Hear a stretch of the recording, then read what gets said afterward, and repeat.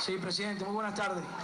Hace poco tuvimos la oportunidad de conversar aquí con el pueblo de Caracas, que se ha colmado a la Plaza Bolivia, a la Plaza Nuestro Libertador, precisamente siendo consecuentes y coherentes con los principios rectores que ha asignado nuestra lucha desde hace varios años.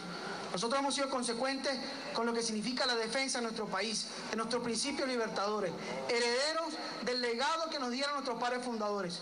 Y como lo decíamos aquel día martes en la sesión plenaria, no existe suficiente agua en nuestro territorio para lavarse la mano como Poncio Pilatos.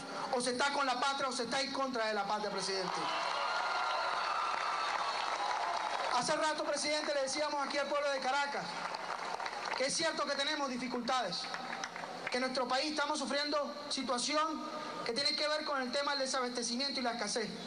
Pero no es como un bloqueo comercial como lo plantea el presidente Obama que lo vamos a resolver. Por el contrario, se va a agravar. Es cierto, presidente, como se lo dije el día de ayer, que tenemos un problema de inseguridad.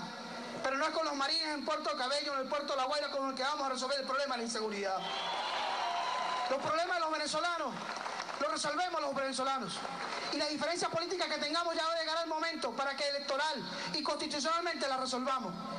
El día de hoy hacemos un llamado a todo el pueblo venezolano, que así como nosotros nos hemos sumado a este llamado que usted ha hecho, presidente, en términos de lo que significa la defensa de nuestra soberanía, la defensa de nuestra determinación. Ayer cuando anunciaron nuestra organización política Alianza para el Cambio, damos el debate y la discusión sobre este tema, recordábamos la crisis de Caldas de 1987. Una crisis que sumió al país en una situación de incertidumbre, de conmoción, y que todo el mundo, partidos de gobierno y partidos de oposición, actuaron con una sola voz. Y yo creo que este momento histórico reclama que partidos de gobierno y oposición nos demos la mano para hacer frente común frente a la amenaza que hoy representa el gobierno de los Estados Unidos y este decreto infame, infame del presidente Obama. Nosotros hoy vamos a respaldar el acuerdo que por unanimidad ha hecho UNASUR y vamos a sumarnos para recolectar no 10 millones de firmas, presidente, para que podamos recolectar las 30 millones de firmas de todo el pueblo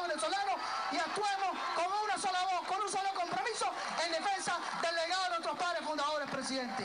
Quisiera pasarle al diputado Carlos Vargas.